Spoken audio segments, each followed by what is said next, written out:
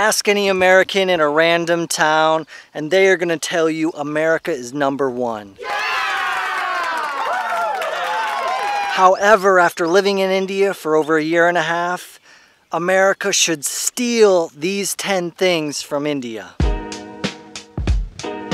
Before I begin this video, I would be remiss to have you thinking that I don't enjoy and I'm loyal to and love uh, where I grew up. I feel lucky and I'm happy to be an American, if you will. And while I'm not one of those guys to tattoo the American flag on my face and to scream out America, anything like that too much, I've traveled around America extensively. I've hitchhiked over 25,000 miles, mostly in the US. If you want to see those trips, I have 21 videos of going across the country with my girlfriend at the time. And I have another video where I took 930 selfies with Americans as I'm traveling across. So I'm not one of those people who just doesn't like America or anything like that. I do. However, after living in India for a while, there's some things we can improve on. First one's a bit messy because I know that Americans have strong feelings about it and so do Indians. But the first thing we should steal is the bum gun. Quick interruption to invite you to subscribe to my channel. I share India travel tips every week and I'd love to have you a part of our community. I do think toilet paper should still be a part of the process but I'm not one of these Americans who thinks we should only use toilet paper and if it was the coronavirus lockdown that I'd stock up with hundreds of rolls. Sorry Ben, I disagree. I gotta take care of my bottom line. It's so much smarter to have one of these installed in your bathroom and use so much less toilet paper. And I know Indians feel strongly about this. I polled some Indian travelers on Facebook and asked them if they use toilet paper. 63.7% said they never use toilet paper. 25% they said they sometimes do, and only 3.48% said they always use it. Avon sums it up well. This whole toilet paper usage thing is a great communication gap. Westerners who use toilet paper think that those who do not use it do not clean themselves. This, of course, is far from the truth. Indians who do not use toilet paper but use water to clean themselves naturally feel that paper cannot clean as well as water. America, we should steal this. Yoink. Another thing we should steal is handmade furniture. I got this chair with extra long arms so I can rest my computer and do my work, made for 50 bucks by a local guy. That couch back there, also handmade by a local guy. You can get organic cotton shirts made for 20 bucks by the best tailor in town. You can get regular cotton shirts made by not the best tailor in town for five bucks. I got my bed made for less than a hundred dollars by some local craftsman. Okay, four, I pay four thousand now, and then on Tuesday, eleven o'clock, two thousand five hundred for a bed that's uh, sixty inches, seventy-eight inches, twenty inches. Took less than a week. None of this prefabric wood that you buy from Walmart or Amazon. People here are making things with their hands at reasonable prices, and it's a lot of fun and good quality. Let's steal that, America. Yoink. Here's the firework place, and when it's open, which is usually during the winter months or around holidays, you can get some great deals on some epic fireworks. It's five, four,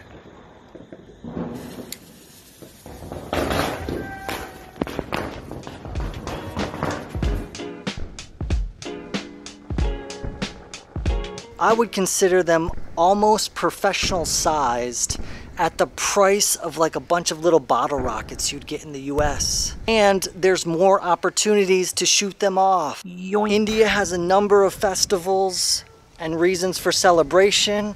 We have Holi here, which involves throwing colored chalk on people. I'm sure you've probably heard of it. We have Deepam, which involves where I live, lighting a fire up on that mountain with 2,000 liters of clarified butter. Yummy. That has been blessed by holy men. And then for 10 days, it's lit up. And you can see it over there. It reminds me of like some Lord of the Rings type uh, signal fire to, to show the other troops the uh, opposing battle is coming. Or something like that. You got Diwali, you got Indian Independence Day, you got Pongal, you got Christmas, you got Et E Afert. I'm not pronouncing that well, but that's here too. Where I live every month, people walk around the local mountain to cleanse themselves of their karma. Thousands of people are in the street for this. India is kind of like one big party.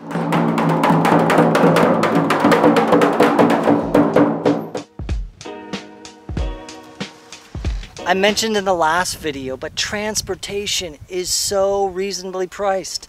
I can rent this for 45 bucks a month, which is expensive here. The amount of options you have to travel around India is way more than in the US. There are reasonably priced trains, buses, domestic flights. Almost any flight in India will be less than $100 one way trains you can get for eight hours, eight hour trips overnight for 15 to $20. Buses to go four hours away can be just a few dollars. You would never find that in the US. There are also auto rickshaws, bike rickshaws, and even bull carts.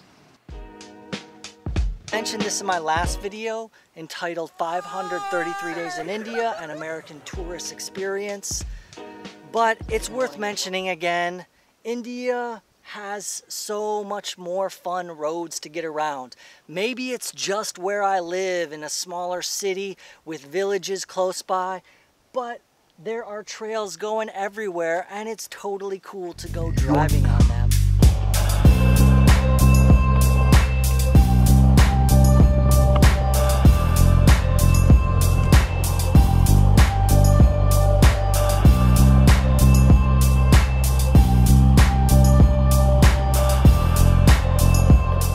I grew up in the US, the thing to do was buy a truck with four-wheel drive and after it rained, go into a field with your truck and your buddies and drive as fast as you can, doing donuts or circles, spinning mud in the air. If you don't get stuck, you weren't going hard enough.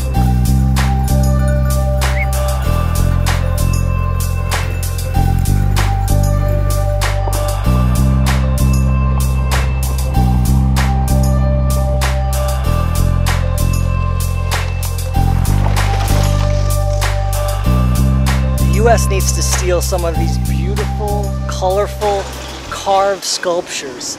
In India, everywhere there are these temples. Near my house, there's one next door. Down the street, there's another one. Down the street, there's another one. Temples in India are as popular as McDonald's in the US the churches in the US, we need to step up our game. Although this angel with the golden sword is pretty cool. We need more interesting sculptures to bring in the people. Take a page from India. Look at this. Why are there no sculptures on churches where someone's getting their head cut off? What is up with Christianity? Let's see, what price is this? 30. 30 rupees. 30, okay. I, I take this one. English? Yeah, English. In India? Tamil, Tamil. One chai?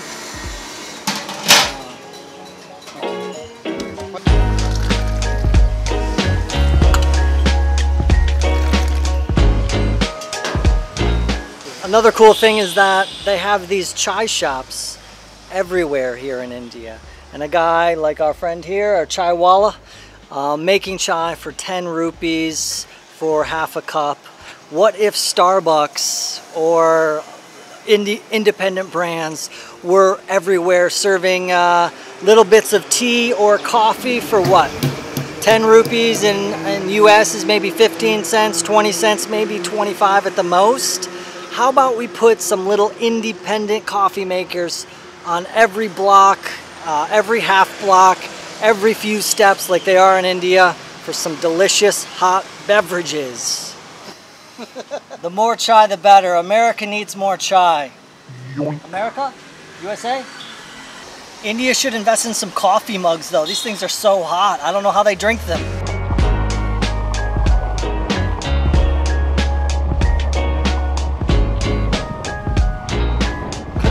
The final thing America could learn from India is let's get some more people.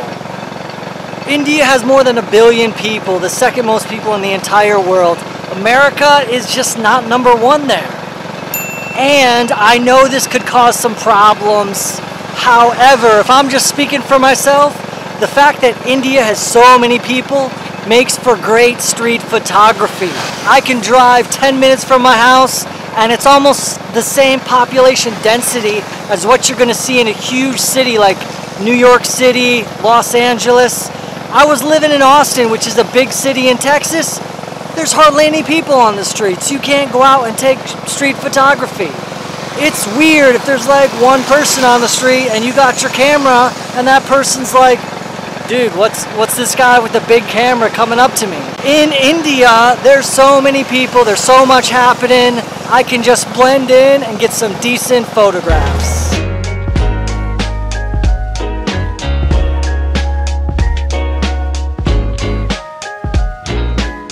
America, we need to have more babies.